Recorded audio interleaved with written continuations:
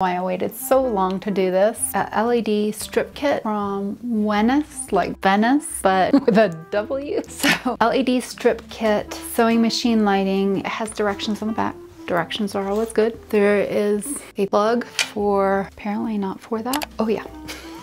There's a switch strip, little hooks a little bit of alcohol and clean off the interior of the machine, lay the machine on its back. So I'm just kind of dry fitting it, take sticky part off, leave some of it on and just walk my hands along as I go. Pull the tape off.